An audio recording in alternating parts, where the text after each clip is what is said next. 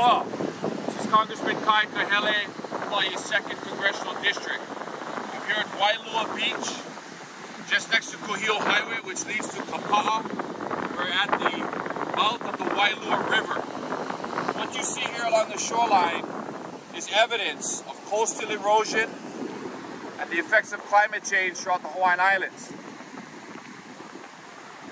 This is something we need to address, and I intend to address it in the United States Congress.